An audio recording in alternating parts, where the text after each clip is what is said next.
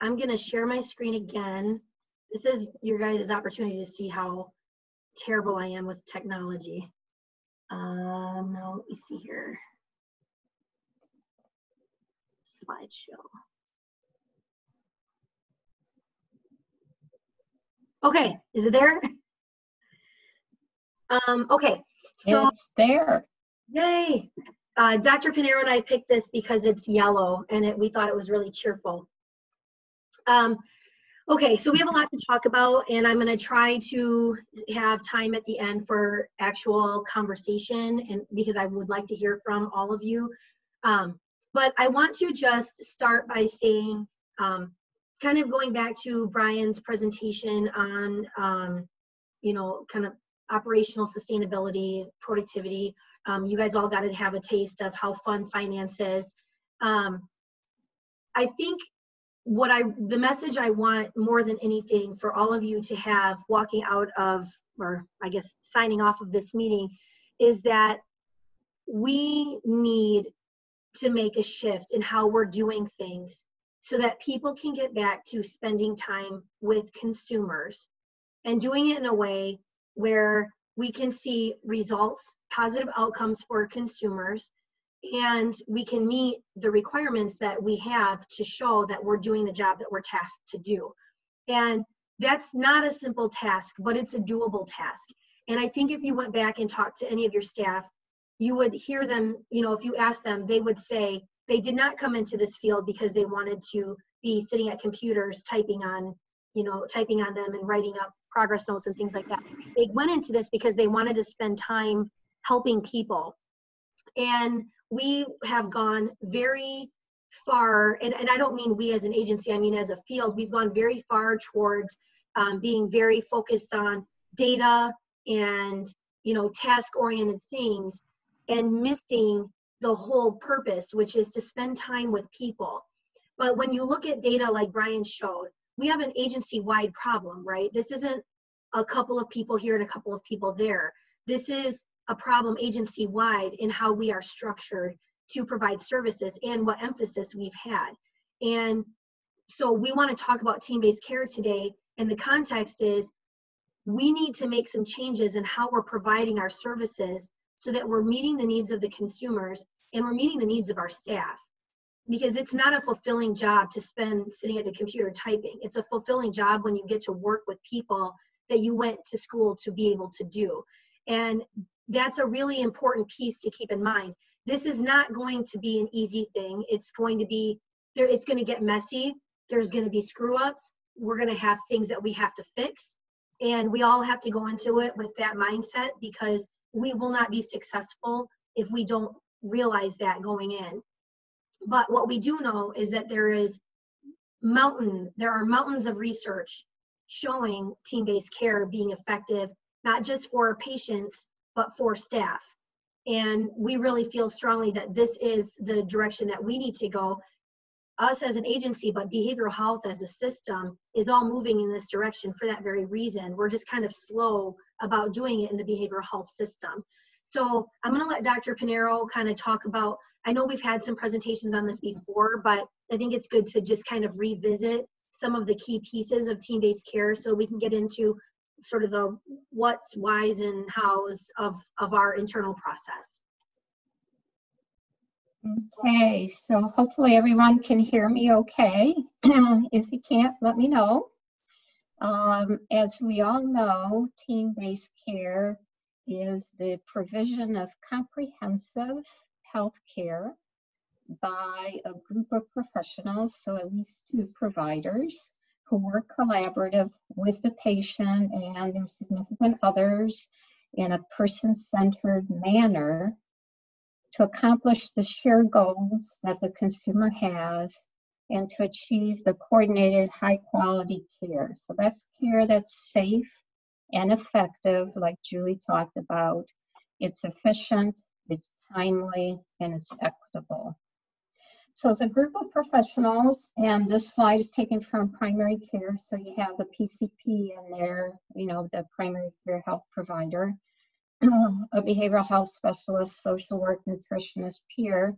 Our teams will be different with our professionals. So you know, therapy, case management, uh, peer support, excuse me, as well as nursing, psychiatry, and perhaps, you know, other staff as appropriate. And a team is interdisciplinary, and that's extremely important. That means the team follows certain guidelines. So within the team, there's very clear specified roles. That builds dependability and accountability. We know who's going to do what when. But the roles are also supported by each other. So for example, when I was in a DBT, team-based care uh, team a long time ago, I knew when, you know, which skills a consumer was working on. So when they came to me because of the team, uh, when they came to me and they asked for medication change for uh, emotional dysregulation when the medication change was not appropriate, we could talk about the skills and I could support the therapist. And the consumer was hearing the same thing from all the providers, and we had outstanding outcomes. Um, there's mutual trust. Um, we're going to talk about that quite a bit. Um, another term for that is psychological safety. There's effective communication. So, communication that supports what we call environmental uh, awareness so we can respond rapidly when there's a change in the consumer presentation. And also communication that supports education within the team. Um, so another term for it is a culture of curiosity. So we're frequently educating each other. Um, some of the training is done in a team format if individual staff go out to a conference, they bring the information back to the team, educate the rest of the team on how are we going to incorporate this new information in the field. And you have a shared goal with measurable processes and outcomes. Next slide. So it's an interdisciplinary team. It's different from a multidisciplinary team. We're all familiar with the multidisciplinary team, where you also have different professionals who are interacting with the person being served. They each evaluate the consumer independently and write their own report there's no set forum in where discussion of the different evaluations can be had and kind of incorporated so all the staff know all the information. Um, and each staff, you know, even though one staff may do a person-centered plan, all the other staff also have goals for the consumer that they've discussed with the consumer in a person-centered plan, uh, in a person-centered way, but those, there's no way to incorporate that into the major plan. And the communication is mainly done through the EMR, so through progress notes, uh, perhaps consult notes. So that's the difference of where we were way back and where we're headed. Next slide. So, you know, it's a group of professionals um, working together for a common purpose so one of the purposes is the patient-focused care for an individual consumer. The other common goal is the collaborative ownership of the team's panel, consumer panel. So that's significantly different and it's moving away from this is not my consumer so I don't need to attend the meeting today because my consumer is not going to be discussed. Or um, they're talking about somebody I don't know, so maybe I should check emails because I'm expecting a really important email. There's consu- there's ownership by all the staff of the team panel. And once we talk about this, it raises a lot of questions um, which we'll be touching on. And as you can see, it requires a significant change in structure as well as our mental set. And Julie is going to be talking about all the steps that we're going to be taking in order to accomplish this. Next slide. So why move to team-based care? Well, it's the standard of care, it's also the standard of practice uh, throughout many industries, from Google to avi uh, aviation to um, high-level management in very a very um, variety of corporations, as well as in healthcare. Uh, it's not a new concept. Back in 1960, uh, or thereabouts, the American Academy of Pediatrics kind of set forth the, the concept of interdisciplinary teams uh, when they were struggling with how to take care of children who are facing all the issues with chronic conditions. Um, in the 1970s, um, Stein and Test uh, developed ACT, which is an interdisciplinary team to take care of people with serious mental illness as they were transitioning from state hospitals to the community. Team-based care has taken off in the primary care world. And you can see there the NCQA now requires team-based care to be certified as a patient-centered health home. Um, it has progressed to subspecialty care. So some um, cardiology practices, um, uh, even obstetric practices are developing team-based care. And in the behavioral health field, it has become known, so if you look at the quote on the right-hand side, as the gold standard for cares of patients suffering with mental illness. But why do we need it? Um, and our patients are very complex. They're very challenging. They require all of our expertise and they require us to interface with lots of agencies outside of our agency.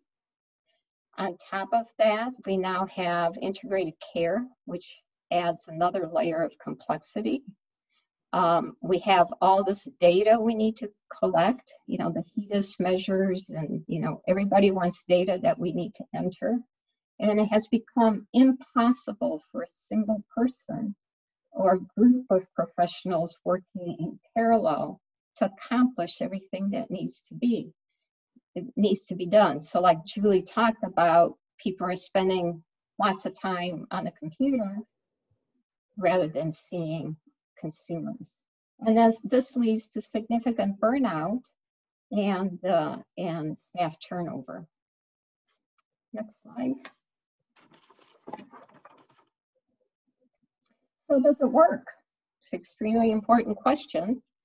Um, and there has been lots and lots of research to show that you get um, disease-specific improvement with team-based care. So hypertension, diabetes, um, you have decreased emergency room hospitalization, you have decreased medical hospitalization, you have decreased psychiatric hospitalization, uh, you have increased capacity and access.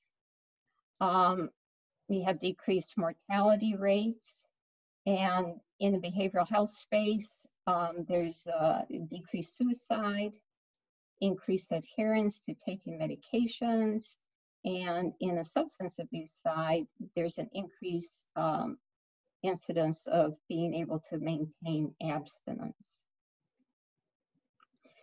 The one caveat, though, is that the research has also shown that the positive outcomes are dependent on how well the team adheres to the principles of team-based care. So this is not unexpected for us. You know, we know evidence-based care or evidence-based practices and how important it is to adhere to the, the foundations of the practice. Um, and they have found that um, a, couple of things are really important uh, to show outcomes, and it's the team's ability to team, um, or the other thing that the research talks about is kind of the adaptive reserve of the team.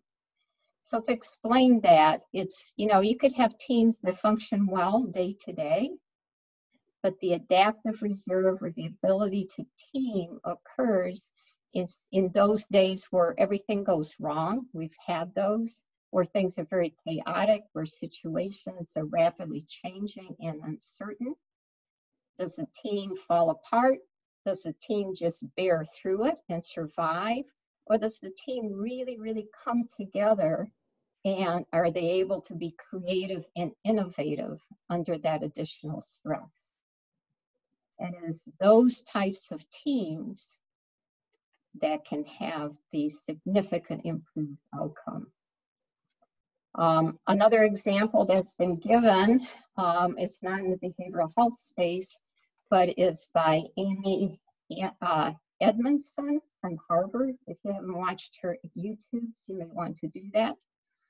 Um, she talked about the um, mining uh, disaster that happened in Chile about 10 years ago, where a group of miners, after a mining accident, were trapped below over 2,000 feet of solid rock.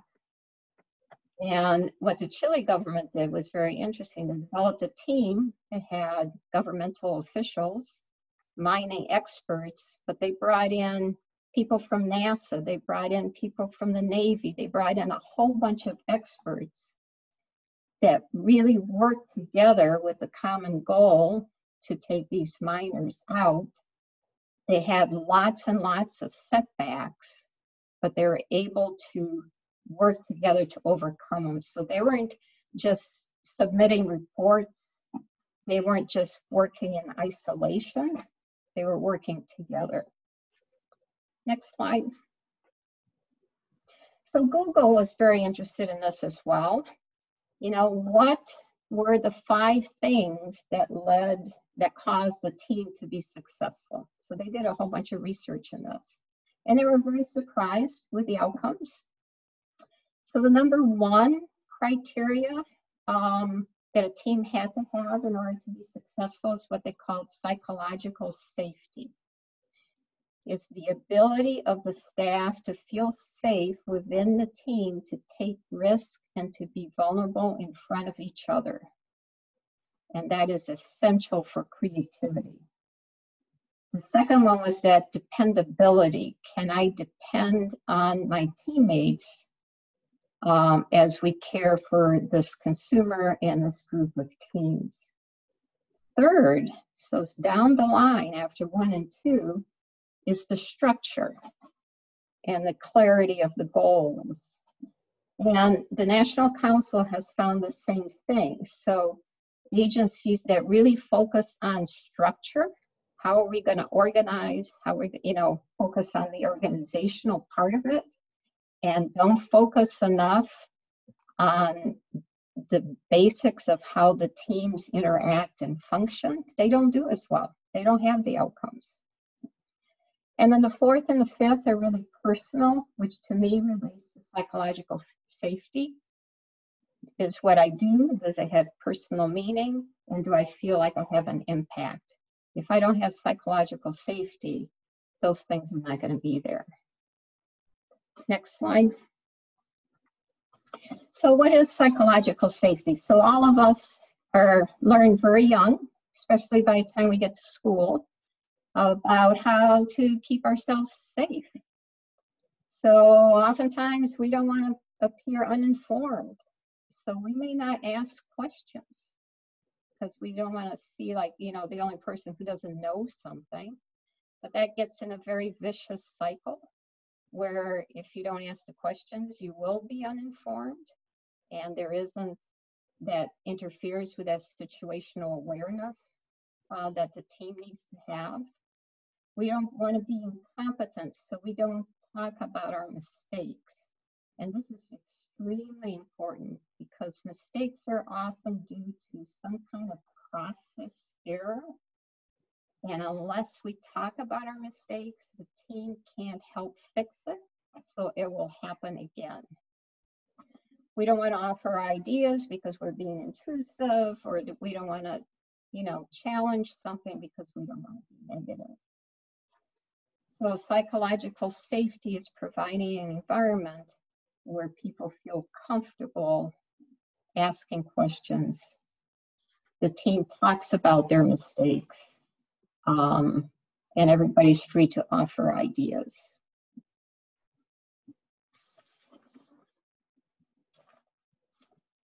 All right, ready for me to jump in? Yep. I just wanted to make a comment. If um, those of you who are trained in DBT, you might see some, you know, similarities. I think, you know, I know when I joined a DBT team, that was one of the first things was really setting out a no judgment zone and being able to be, you know, really share vulnerabilities with challenging cases and getting ideas and things like that. So just like for, con, you know, context. So five components of effective interdisciplinary teams, um, and I'm going to go into these in more detail in, in the subsequent slides, but um, they are, they have established open, safe communication patterns. They have well-defined and appropriate team goals, clear role definitions and expectations for team members. This is really important because, well, I'll get into it later. um, a real-time structured yet flexible decision-making process and the ability of the team to um, quote unquote treat itself by celebrating accomplishments and addressing breakdowns. I think that's something that we miss a lot is even though we have those opportunities there, like in every staff meeting, say, you know, any successes or recognition, it gets easy to start to overlook that and maybe not mention things that have happened. And I think that's really important for teams to, you know, constantly be aware of even those little successes that make everything worth it. So establishment of open communication patterns. Um, I gotta move this. Okay. So um, this is really important that the teams decide um, how often they want to have team meetings, what kind of common language they want to use. Um, you know, this is one of the things about interdisciplinary team is you'll have different um, types of people. Like you might have a therapist, a nurse, a case manager, and they all might talk about something a little differently. And so having a common language is really key for making sure everybody understands the same things. Um, and just establishing consistent protocols, procedures for how the team is going to function. Having regular contact with leadership, um, just to make sure that the team is on par with meeting performance expectations that sort of keep us sustainable, you know, again, referencing back to Brian's um, presentation a little earlier. Um, it's important that the teams have a shared vision and shared goals and that they review them regularly to make sure that they're still on point with those things. Um, maintaining regular um, group and one-on-one supervision is also really key. Um, making sure that the supervisors have the time to be able to dedicate to working with all the individuals on the team is really key. And then again, and um, Dr. Pinero mentioned this earlier, maintaining fidelity to evidence-based practice. So this isn't like a, we're gonna do team-based care, forget evidence-based practices. This is how can we enhance the use of evidence-based practices and hopefully be able to open up resources or use them differently in a way that allows us to have better adherence.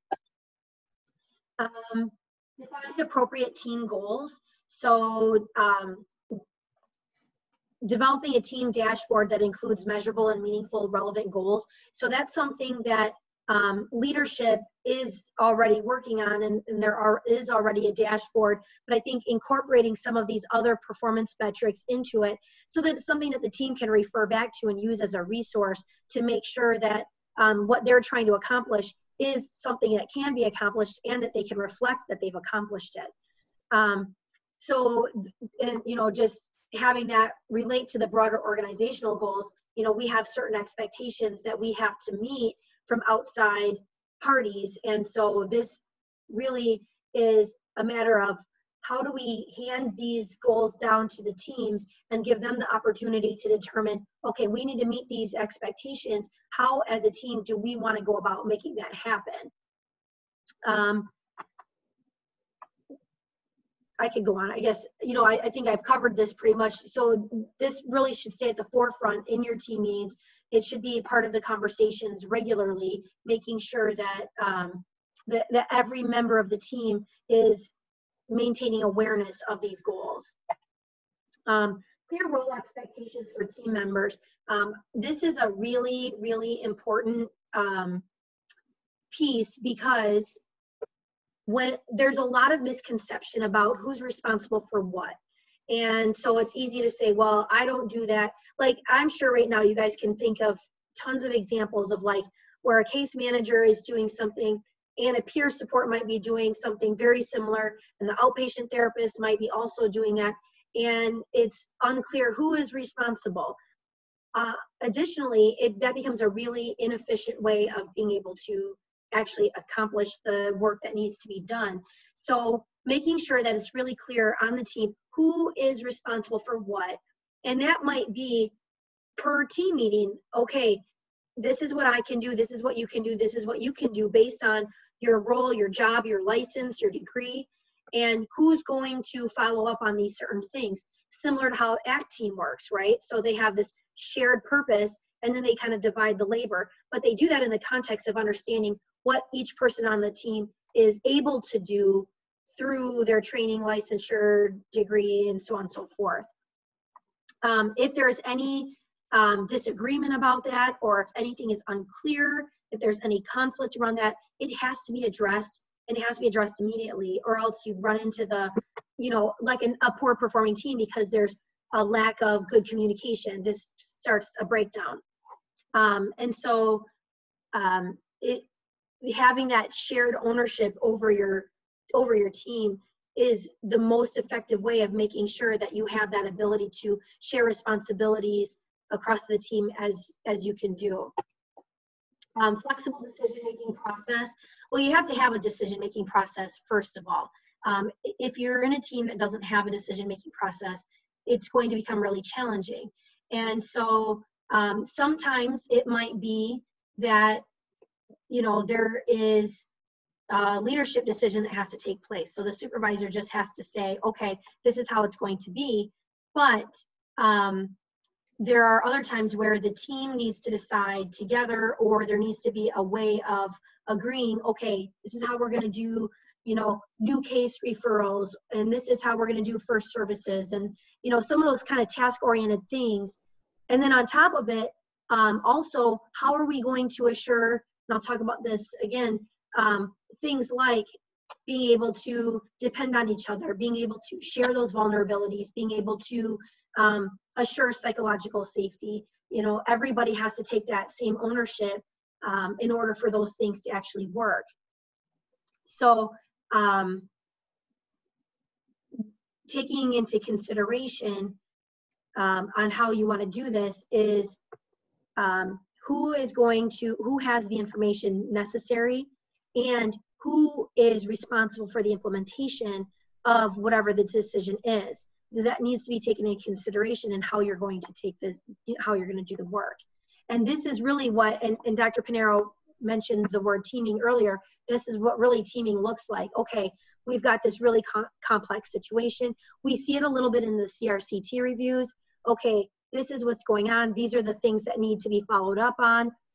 Who's going to do each of those things and how are we going to come back and share that information to make sure that everybody is on the same page? Um, so there's lots of different ways that we can do this. And just for sake of time, I'm not going to spend a lot of time on these, but these are just some examples of, of how decisions can be made. These are things that the team will have to decide. We're not going to set up teams and say, you're going to operate exactly like this because teams need to be different based on what counties they're in, what populations they're serving, what resources are available. So we will have high level decisions made about um, what the team outcomes need to be. But the decision making process, for example, really needs to come from how the team itself wants to operate and what will work best for them. Um, and then lastly, the ability of the team to treat itself. Um, there are some resources that we have that we'll be sharing as we roll this out. Um, a team self audit um, that is an opportunity to review the dashboard. Um, how are we doing? You know, our, basically a self-assessment of, you know, how is the team performing in the way that they want to be. And then um, very much encouraging, you know, idea sharing, suggestions, you know, taking input from the people that are doing the work. This is one of the greatest opportunities for really true um, quality improvement from the bottom up.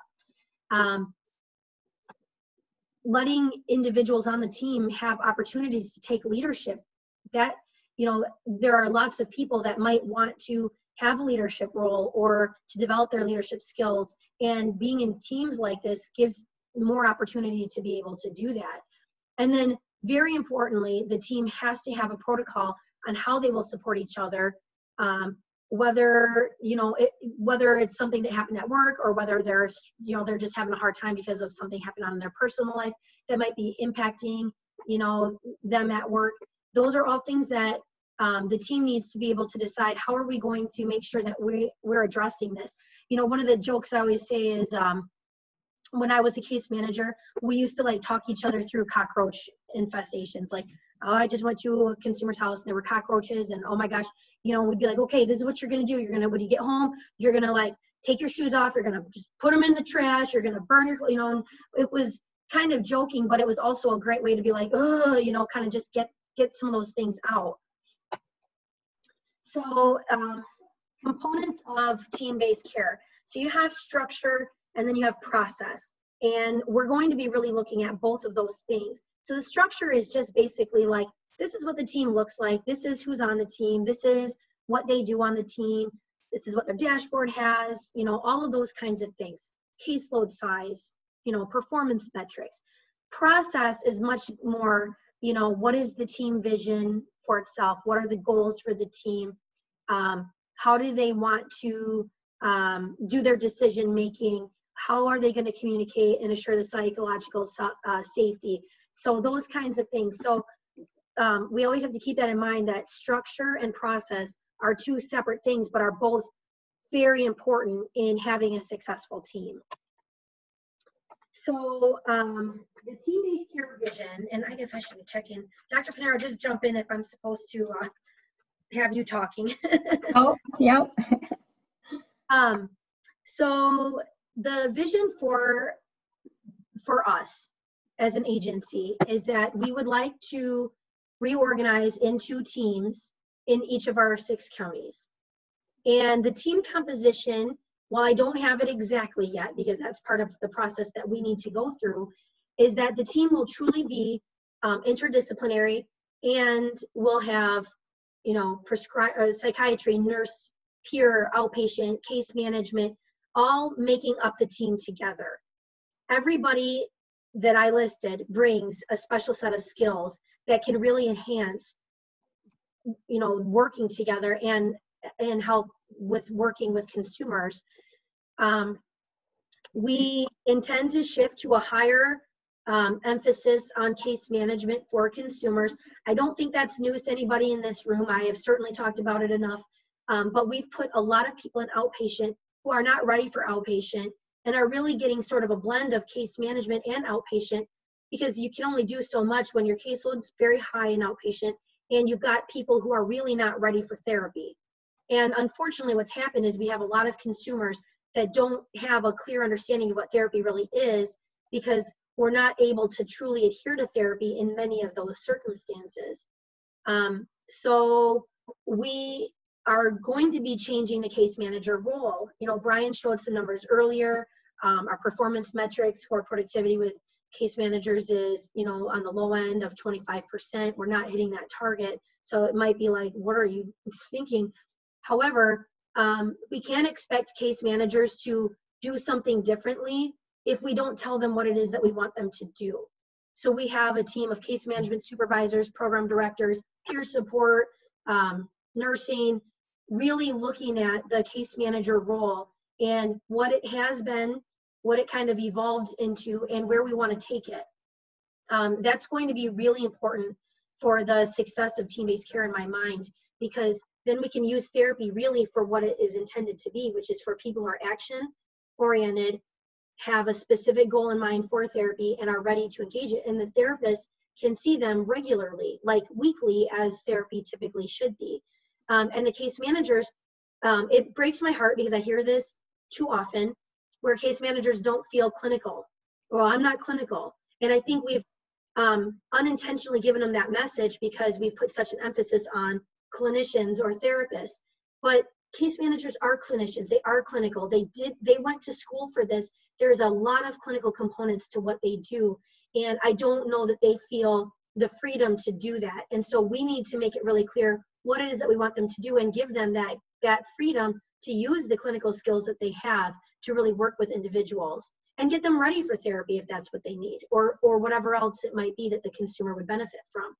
So each team will be led by a supervisor. Um, and as we talked about, the team will have shared caseload and tasks. Now, this is still person-centered, so I want to keep that in mind. Like if, you know, I'm a consumer and I'm like, I'm not seeing anybody but my case manager, you know, John, sorry, John, you're top of my screen, then we need to we need to work with that right? We're not going to say okay well you don't get to see john. But what is great about team-based care is that um, if i am you know not doing well and john goes on vacation there's a whole group of people that know me and know that they you know might know what i need and i don't have to start over with a new story. So we can support each other that way as well. Um, shared decision making as we mentioned and this is going to really require a lot of energy and effort on the parts of the teams to come up with the strategy that they want to use to do that. And really a lot of team autonomy on developing their own internal workflows and processes. We want to give the teams as much ability as we can to decide how they're going to accomplish the overall agency targets that we have set before I move on, does any reactions to what we've talked about so far or what this vision is? I can't see many of you, so. Yeah, either can I. Um, all right, so feel free to jump in at any point. Why are we doing this? I think we've, you know, we've talked about this a little bit, but I want to um, just go through a few things. So uh, Dr. Pinero said earlier, um, no, it's come to a point where no one person really can manage all of the things that are expected of them without complete burnout or stress. It's really challenging. And we don't want people to be out on, you know, limbs by themselves. And it's one of the things that we talked about with CRCT also. We don't want people to have to make really tough decisions and not have the support that they need to implement those decisions. Um, we need our case holders to have more support. They need it. They've made that very clear, and we know it. This is a really high stress job. When you look up most stressful jobs in the world, social work is frequently on that list. And we are doing a disservice to ourselves and our staff if we don't always keep this in the forefront of what we're doing. And I think we have done that to a degree, but I think we can do better. And this is a way to do that better. We know by research that team-based care results in better outcomes for consumers. And at the end of the day, that is the most important thing because that is what we are expected to do. We also know that team-based care results in better job satisfaction, which is also very important. And we also know when you have better job satisfaction, you have better retention and better results for consumers because they keep the same people that they've been working with. Um, you also end up with things like more creativity to deal with difficult problems. Um, you HAB the ability to really tap into different expertise and skill sets. You know, we were talking about this in some of our subgroups. You know, there might be a person or two on each team that just knows how to write have support waiver plans. Like they, and we have some of those people in the agency. They never miss them. They get them, they submit them, they're always accepted. That's a skill set that could be tapped into on teams. So they're not have to redo their work. Oh, sorry, mission um, denied this one. You got to go back and write it like this or add this in. Why not tap into a skill set that you have on the team so that you don't have to re- redo your work? Um, we also know that service delivery becomes a lot more efficient. Um, communication, Im- improved communication helps a lot with that because you're not replicating work or duplicating things. And you know up front, sometimes it's like, well, I got to go back and let me talk to this person. You have the ability in those team meetings to really discuss these different situations and know in advance what are some of the options that you have to work with. Um, the uh, approach of team-based care resulting in good consumer outcomes helps us stay very relevant and competitive in the behavioral health care world. And I can't like overstate that because there are changes coming. We don't know what they're going to be. But we do know that the behavioral health world is moving to this. And if we want to stay at the forefront of, of services and service delivery, this becomes more important. We want to be able to do this for a really long time. And the last thing I wanted to just uh, mention, and I've got some comments referenced in my notes, um, we did ELT visits and got staff feedback. Um, we did surveys with staff on strategic planning, and we heard loud and clear staff want more support, they want more efficiency. Um, some of the feedback that they talked about was caseloads being high, staff burnout, burnout staff turnover. Um, you know, that um, there were staff that wanted to take on more leadership roles, um, that they felt like there should be more monitoring of job satisfaction, sec secondary trauma, retention, that they wanted a more focus on strengths, um, and that they see when we talk, when we, in the strategic planning survey, one of the questions was, what are some of the strengths that we have? And team, co-workers, collaboration, supporting each other, and working well together were all common themes listed. So this really sets us up to be able to get at all of the things that the staff already see as huge strengths of an organization. So um, the other thing is that um, some of the suggestions that came out of that survey were things like wanting more clinical su supervision, wanting flexibility in caseloads, wanting changes in productivity standards, more training and more team building opportunities. So these are all things that become really important um, in team-based care. So um, just being mindful of time, I'm gonna jump through these next slides pretty quickly so we get to the end. Um, so how are we doing this? We have one big committee of team-based care. And underneath that committee, we have two subgroups. One focusing on the case manager role, um, and one focusing on team-based care implementation. So in the case manager role, the other thing I wanna mention is that they're also looking at levels of care. So one of the things that we'd like to change is um, being able to look at what a consumer's needs are and uh, uh, and targeting the services and the service frequency based on what their um, what their actual needs are. So we may have some people that don't need to be seen that frequently because they're doing pretty well, but we need to keep them open. So they may be seen less frequently. Then we might have other people that need, you know, they've just come out of the hospital. They might need to be seen once or twice a week. And so having the ability to match level of care, going back to what Liz talked about in, in terms of a crosswalk between the LOCUS and the DLA 20, it really gives us that ability to have like that dynamic, you know, that shifting between levels of care within the team. Um, so each team has to come up with a work plan, okay? And so I'm gonna, I, I will gladly share these. I can send them out to the group afterwards, um, just so I can move through these fairly quickly. But um, the case management work plan is going to focus on um, providing staff training on roles and responsibilities of case management. They're going to focus on creating levels of care and intensity of service. So it might be like a ranking of a consumer, they're a one through a four, and if they're a four, they need to be seen this frequently, if they're a one, this frequently, and everything in between. Um, they're also going to implement the use of the outcome measurement tool, so that would be the DLA 20. Um, they will be evaluating staffing resources. I know that will be a question. Probably many of you are thinking it. Many of you have already asked it in these work, um, these work groups. So we're gonna need to look at what resources do we have now and where do we need them to be. And then choosing the administrative targets for service delivery. An example is productivity, but there are lots of other um, other areas that we'll have to look at for service delivery and what performance metrics do we need to have in place. And then lastly, they'll be looking at updating any policies, procedures, and guidelines that need to be um, updated to fit with what we're doing in this change. The team-based care implementation work plan, um, first and foremost, is defining team-based care for CMH, CM, because it doesn't look exactly the same in every place. Um, then it'll be actually organizing into the teams. And then um, really the goal coming after that would be the improved staff and team performance. So that will be, and this will be working in tandem with the other group on those kind of those team targets. So, um, you know, there will be some crossover between those two areas. Um, determining training gaps and needs for staff and supervisors. They're going to need a lot of training on what this looks like, what to expect, how to be prepared for it.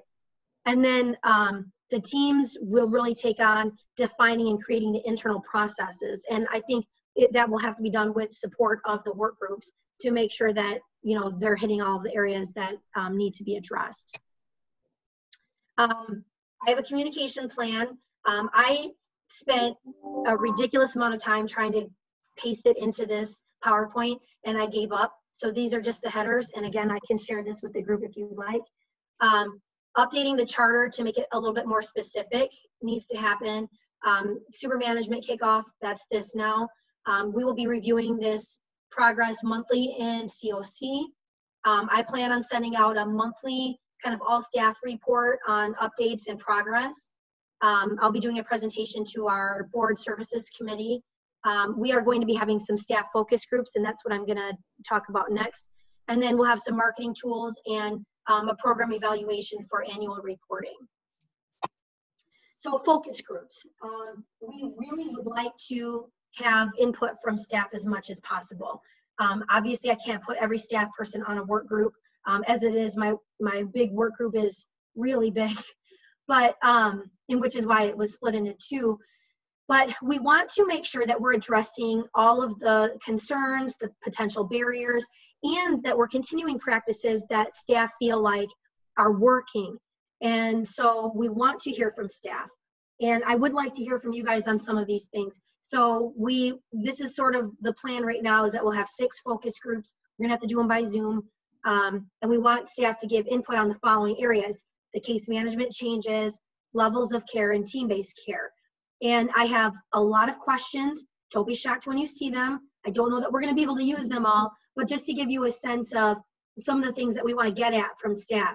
And if any of you have ideas on other ways that we might wanna get at this besides focus groups, please share that with us because we definitely want feedback. I know we have a lot of the supervisors on these teams, but primarily it's the case management supervisors. So I want to hear from the other ones as well.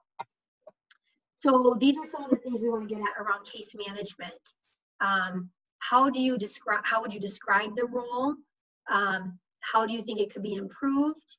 How would you improve face-to-face -face services? How would you increase face-to-face time? What are some things that you're not doing face to face but could be? And what are some things that you're doing that are repetitive or duplicated or could be done by another staff person? Like, is there something that you're doing as a case manager that could be done by a nurse? Or is there something a nurse is doing that could be done by a case manager? Or maybe a peer support? Are we tapping into all the resources that we have to the full ability that we, we could be? Under levels of care, um, how would you see moving consumers um, to higher and lower levels of care within a team? And um, what ideas or visions would you have for um, what services we could offer to consumers who need the lowest level of care within a team? That was one of the big things that we heard a lot about in our last ELT visits was, you know, you got these people sitting on your caseload that don't need very much. So you don't see them a lot and it kind of might um, you know, kind of drag out some of your your stats or something like that. So we heard a lot about that, and you know, are there ideas of what we could do for that? Um, how would you determine that somebody's ready to successfully discharge from services? And what transitional services or approach would you take to help a consumer successfully move to a lower level of care? And then lastly, in what ways do you see team-based care changing the way that you currently do your job? What are some team goals that would be helpful to see on a dashboard or to track to see that consumers are improving? That could be homelessness, employment, hospitalizations, jail, etc. Um, if there's one thing that we should avoid in implementing team-based care, what would it be? How would you approach setting up the teams to ensure that they're collaborative and supportive for each member? And how can you see a team build psychological safety for all team members into the team culture? Um, I think that is something we really need to hear from everybody on because it's going to impact each person. So, all that said, I really would like to hear from all of you about immediate reactions, thoughts about the questions, the focus groups, um, things that you're nervous about, things that you're excited about. um, we've got about 10 minutes left. So I really would, would like to hear from the supervisors or even, you know, admin about um, any concerns or excitement that you have. And I'm gonna stop sharing so I can actually see people. Hi, Julie, this is Beth. I really like this idea that the way you've proposed it and the timelines. What's the timeline for the focus groups? I may have missed that part. You know, I didn't mention it, and it's in my actual communication plan that I literally could not paste into that. It was a really frustrating moment for me. Um, we are hoping to do them this fall, so I'm I'm hoping like maybe uh, September-ish. Um, I want to also connect with Lori and just look at what training things we have coming up, so that I'm not um, tying up too much time for people. Um, and we really want to make sure that everybody has the opportunity to participate. So probably September, maybe into. October. Thanks.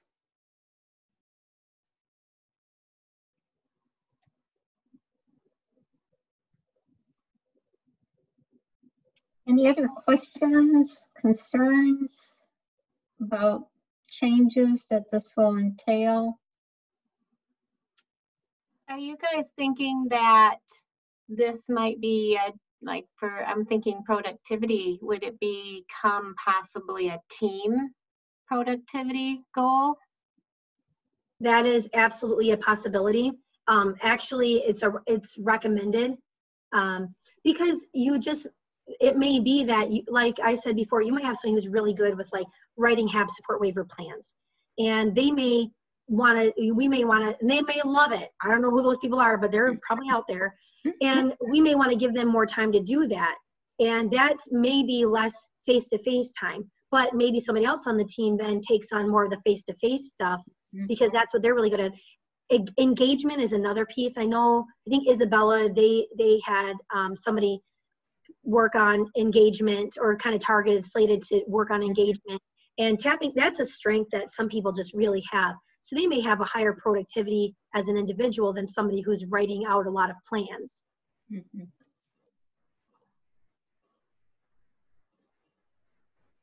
And similar to the ACT model where the productivity is really a team of productivity.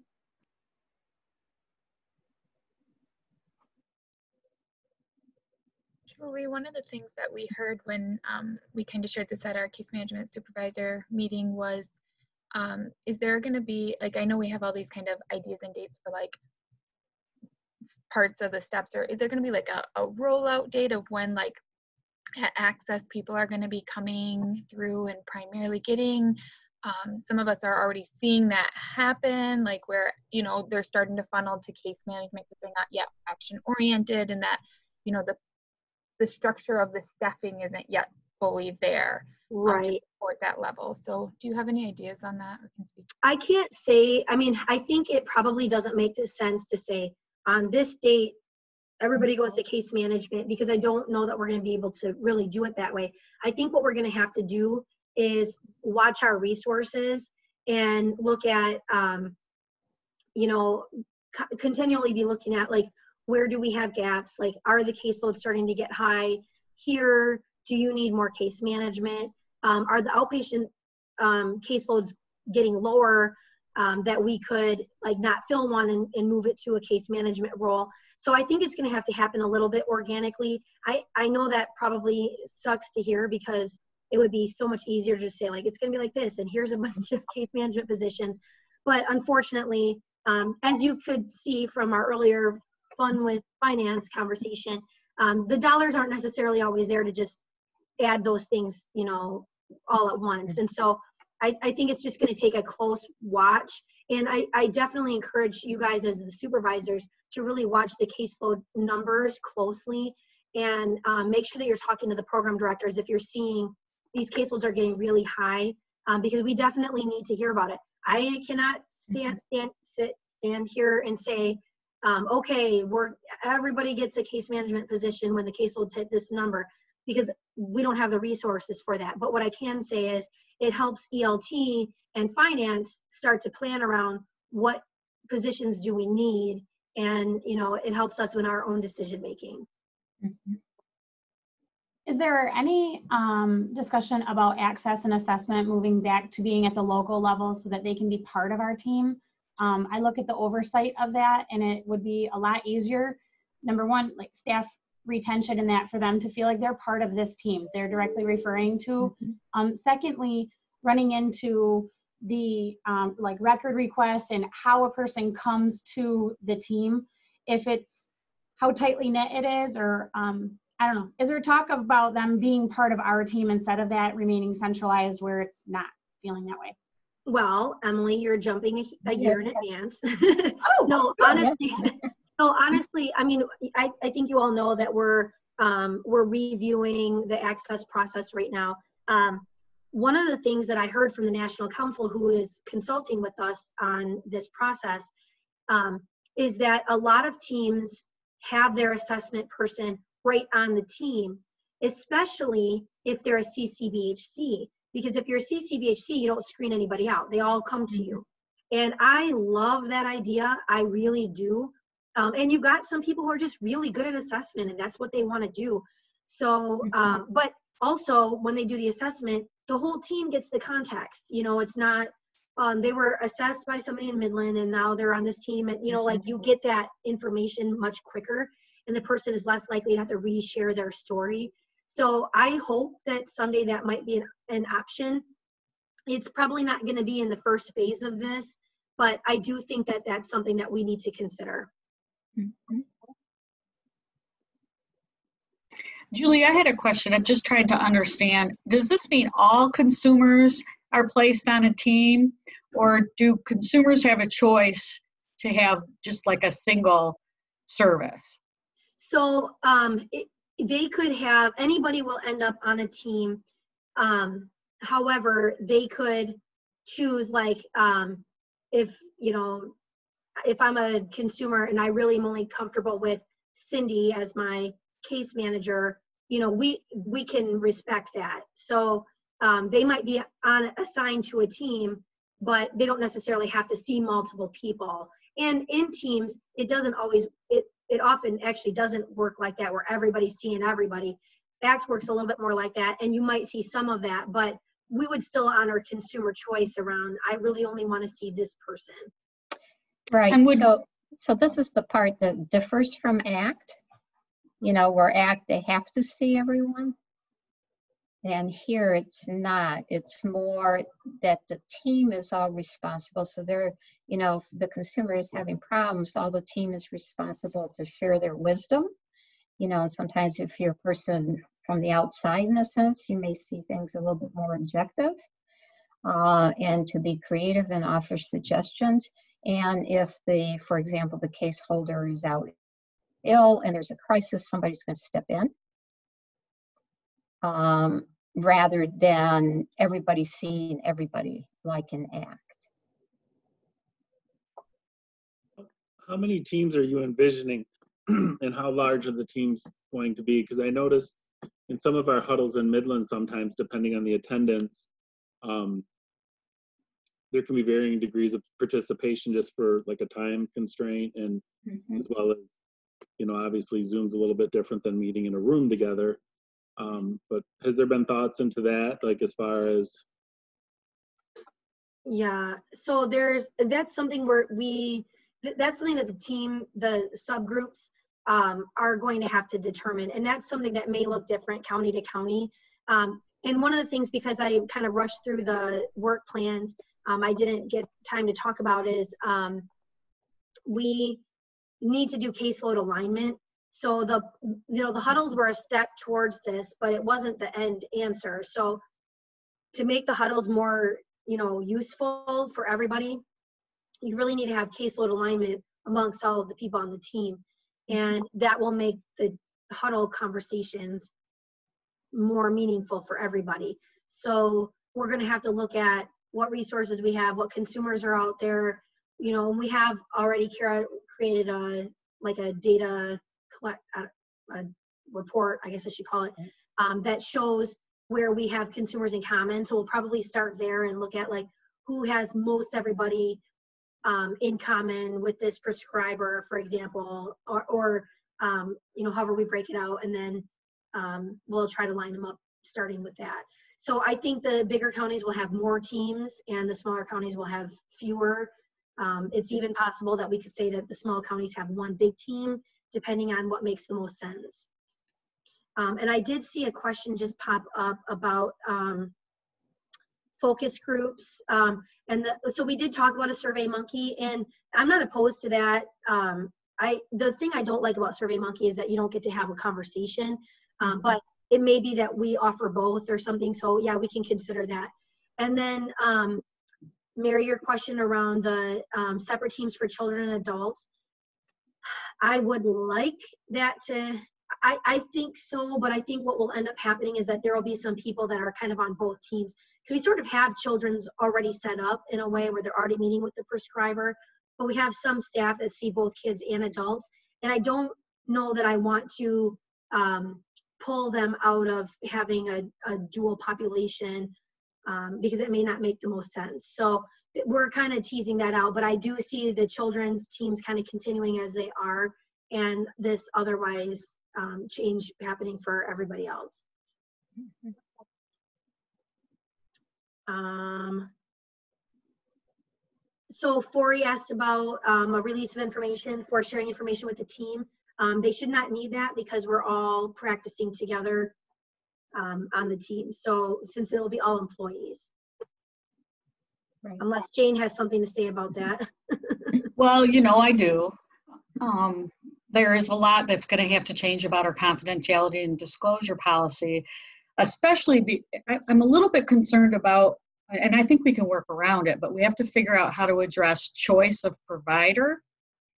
Um, the mental health code says that a recipient has the right to request a change in provider if they're you know available or, or within reason and we get a lot of that and when you make up a team i may like everybody on the team but this one person and i don't want them to have access to my life my life information and we're going to have to at least keep that in mind about we're going to have to have things in our policy and practice to address those concerns because they are um, required by the mental health code. So just when we start looking at that policy especially, we're to have to be very careful about that. Good question, Fori. I think there's we- other, there's other questions in here too, and I want to bring us to a close. I, I appreciate the dialogue here, but we did promise noon. Um, And I see Fori has asked another uh, technical question about sequestered files, and there's a million questions, you know, to uh, respond to. Um, I just want to put it in the context of this as I, I close this out. Um, in 1996, person-centered planning and joint commission uh, were adopted by this agency. And that was two major uh, initiatives um, that spanned a few years um, in order to, you know, gear everybody up. And change, you know, that's that's part of change, and it's part of us all right now. Um, you can't uh, really point out specifically what Joint Commission standards we are observing right now um, because they're embedded in everything we do. And so over time, um, as we adopt a better way, a higher quality method of uh, operating and providing services, it becomes us. Um, in 97, we became managed care, and we've been managed care now for 23 years. And we've learned to live on a budget um, established by managed care, and other states are still wrestling uh, with the fee for service model. In 2001, we had a merger. We had multiple committees, just like Julie was saying. We've got to put together a number of different uh, committees. There were tons of committees that uh, were working on every aspect of uh, business to merge Midland Gladwin uh, with uh, Central Michigan to become a six county entity. In 2011, we established Sigmo. We went from the most god awful uh, piece of software to um, one of the most heralded uh, softwares by auditors who have come in, particularly Joint Commission comes in and they're just blown away um, when they do their audits. Um, and then we um, joined with four other CMHs to create Mid-State Health Network. Mid-State Health Network didn't happen on its own. Multiple committees um, spanning five CMHs and created this organization. And it took time and it changed things. It changes our culture. Each time we have a major shift, it changes culture. I'm just pulling all these forward to tell you that team-based care is on par with these other initiatives that we've done over the years with the promise of better service, better health, and lower costs uh, to our, uh, to our uh, consumers. So we need to make sure that um, we apply the same muster that we have uh, applied over the years to bring this agency forward. Arguments were made that this is the gold standard, and we need to latch onto that. That others have already paved the path. Um, we have to find our own path, but there's others, many others who have already made mistakes that we don't have to repeat. And so we will engage consultants. Uh, we will do everything we can possible to minimize the amount of uh, stress and turmoil um, and disruption um, in the uh, to the uh, end of making sure that we are providing everything uh, possible uh, to our community in support of its mental health. So I want to thank everybody for your engagement today. Um, and I think it's been a nice, well-rounded uh, meeting. I'm wishing you all the best. Um, and I'm going to close this out. Have a great day, buddy.